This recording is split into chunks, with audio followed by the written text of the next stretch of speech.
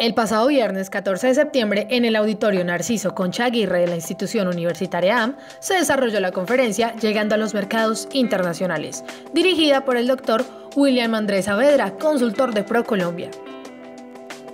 El evento organizado por el Programa de Administración de Negocios Internacionales tenía como objetivo entregar a los asistentes un panorama general sobre los procesos de internacionalización que tienen las empresas y los diferentes escenarios a los cuales éstas se enfrentan en las negociaciones a nivel internacional.